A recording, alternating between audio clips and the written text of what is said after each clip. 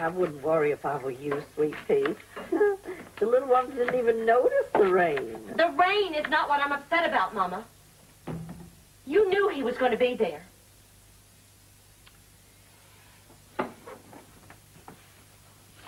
Something sure smells good. It's almost ready. You want to try it? Yeah, looks good, too. Good. You know, it's a good thing we feed the babies before we eat. It's the only thing that gives me any discipline at all. You know, I think I'll check on the babies. I'll be right back. I just did. They're still asleep. Nice talking to you. Is it something I said? No. Mama and I were just... Fighting. Yes. I guess we were. Well, I don't seem to think it was politics or religion, so that leaves me, your late brother, or Gary Ewing. Which one was it?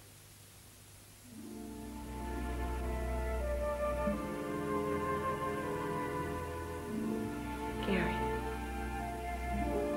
Did he come by to visit the babies again? No. But obviously, Mama told him that we were going to be in the park this afternoon. So he just happened to be there feeding the pigeons when you got there. What is with this guy? I don't know, Ben. He just... He just what? And what is this sudden consuming interest he has in the babies? I don't know. You don't know. Well, I'm going to tell you something. This is going to stop. And I am going to put an end to it.